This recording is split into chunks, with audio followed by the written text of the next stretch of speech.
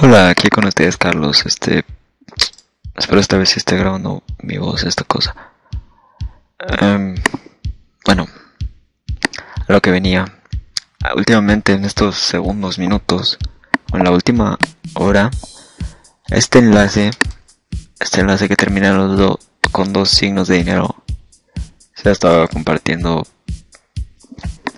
inevitablemente un montón de veces. Así es, podría decirse que es un nuevo virus de Facebook. Me han contado los afectados que es una, una extensión para tu navegador que se encarga de hacer todo esto. Que se encarga de compartirlo automáticamente. Solo miren este contador cómo aumenta cada segundo o más bien cada recarga.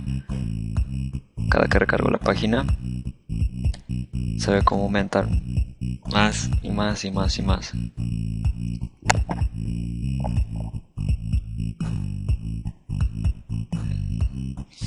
Y bueno, está de sobra decir que ese es el número de veces que ha sido compartido en el enlace. ¿Y por qué se comparte tanto? Es porque la es porque la extensión este se encarga de compartirlo automáticamente en tu navegador sin tu permiso, sin ni siquiera necesitar una una aplicación o algo así. Es una extensión nada más para tu navegador y ya. Se pone a compartirlo automáticamente. Así que, ¿qué les parece si lo probamos ahora mismo? O sea, yo mismo. Para que no les mate la curiosidad y terminen cayendo en el virus. Bueno, pues aquí vamos. Así que para hacer esto, usaré el navegador Tor Browser que te permite navegar anónimamente por la red. Y bueno, Dejen saco el enlace a la publicación. Sí. Bueno, después de varios problemas este con la seguridad de Facebook, pude entrar. Y vamos a entrar. Le bajaré volumen a mis audífonos por si acaso. Saliendo de Facebook como había checado en mi iPod, me había dicho que el enlace ha sido denunciado como abusivo. Así que bueno. Debería de bajar esto. Debería bajar el número de veces que se comparte. Pero no, aún sigue creciendo como podrán ver ah, aquí. Sigue y sigue y sigue. Y ya sin saber cuándo parará. Bueno, veamos. Ya que la curiosidad mató al gato. Según, bueno, he visto cosas parecidas a esta. Está algo falso y no sé por qué tiene el logo de Skype aquí. 3.611 personas online. 3.611 personas llenas de virus.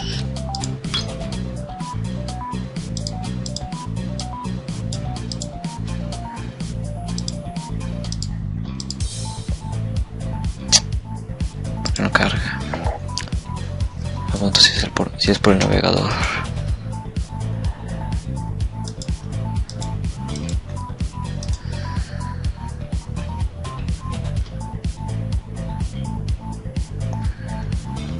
Esta cosa va a creer que voy a entrar al Facebook con él. No lo quiere cargar, voy a probar con otro navegador. Me acaba de decir una persona atacada por el virus que le bloquearon su cuenta de Facebook. Bueno, no, no se lo bloquearon, sino de esos bloqueos de que no puedes publicar. No puedes publicar en tu muro o en, en el muro de otros. Simplemente no puedes escribir públicamente o para tus amigos. Veamos aquí.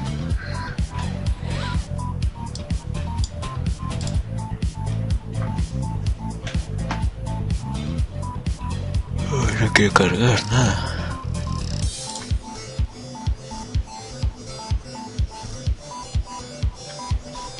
Está raro. No voy a ser que solo sea compatible con Google Chrome. Nada, pues nada. Ni carga el video ni nada. Será por la Block Plus. Mm, a ver. Nada.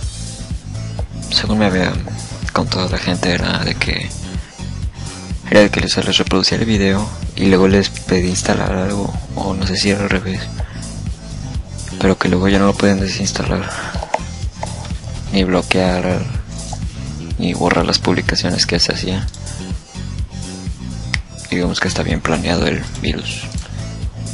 Así que para evitar caer en virus o extensiones o scripts como estos, lo primero sería no instalar extensiones ni plugins desconocidos sin mucha información de ellos que se ven así sospechosos o, o que simplemente no tengan certificado de Google o no los estés bajando de la página de Google.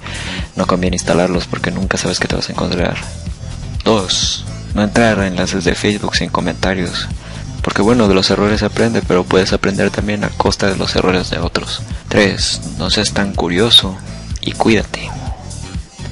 Que la verdad es este, que aunque estemos en 2013 todavía siguen existiendo softwares maliciosos spyware y esas cosas simplemente para crear publicidad o incluso aún para hacerte daño para borrar tu disco duro que a mí me pasó hace poquito y no solo borrarlo sino también corromperlo corromper el sistema operativo corromper el disco duro entero hasta tener que comprar otro a la fuerza así que bueno ya saben cuídense en la red y no se confíen tanto de todos los enlaces que van en Facebook, Twitter o donde sea. 州